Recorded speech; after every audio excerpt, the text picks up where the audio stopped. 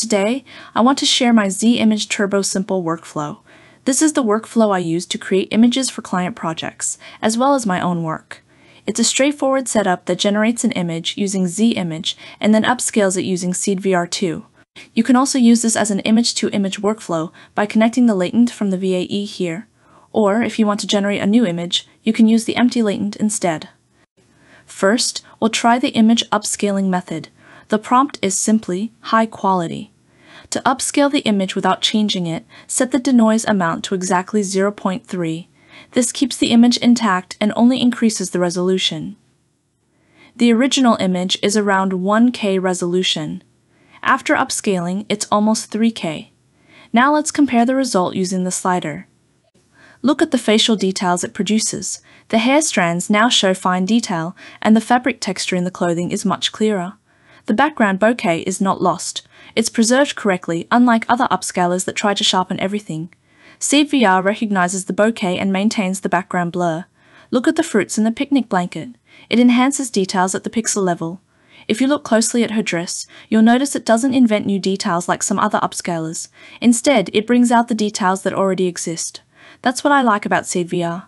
There are times when we want to regenerate details, but for Z-Image, which already has good composition, we only need sharper details.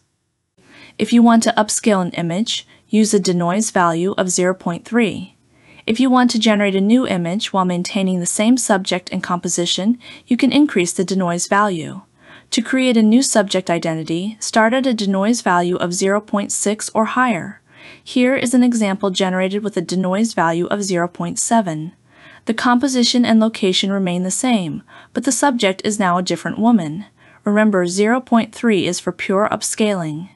Anything above that will begin generating a new image, similar to an image-to-image -image workflow. And here's the bonus tip.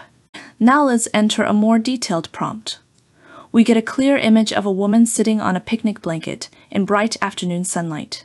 The image already looks very good, but what if we want more vivid colors and stronger contrast, like a real camera shot on a bright sunny afternoon?